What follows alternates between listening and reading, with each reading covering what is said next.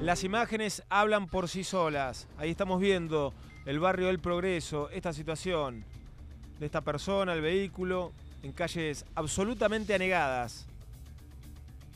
Cayeron 90 milímetros en 6 horas en la ciudad de Mar del Plata, cuando el promedio en abril es de 72 milímetros. Bueno, allí vemos un hombre que rescata de este vehículo a esta señora y otras imágenes como Castelli y Poli Trigoyen. Vamos a ir repasando distintas imágenes de lo ocurrido en la ciudad de Mar del Plata. Hay 40 evacuados, 12 autoevacuados en el barrio Serena. Barrios más complicados, zona puerto, juramento, también el micro y macro centro en algunos lugares, en el barrio Cerrito. Esta postal que se viralizó enseguida, la de la costa. Miren Interlagos. Así de esta manera, este lugar del karting para tener una relación y una referencia de lo que ha ocurrido en la ciudad de Mar del Plata, totalmente inundado.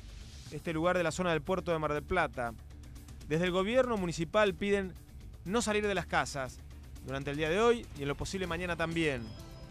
Porque hay una mejora temporal del tiempo, pero luego desmejora, otra vez lluvias y vientos. De salir de las casas piden por favor circular por avenidas, no por calles. En este momento está trabajando el intendente Carlos Fernando Arroyo, el vicegobernador de la provincia de Buenos Aires, Daniel Salvador, otros funcionarios, como Vilma Baragiola de Desarrollo Social, están en el COM. Miren esta imagen. Rawson al 2900. De no ser justamente por ese poste, este vehículo terminaba incrustado en una vidriera. Se necesitan pañales y artículos de higiene que se pueden entregar en la Secretaría de Desarrollo Social o en el Palacio Municipal.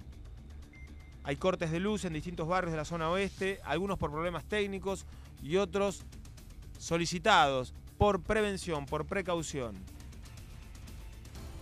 Dramática entonces la situación en este momento en Mar del Plata. Hay una leve mejora, pero se esperan más lluvias.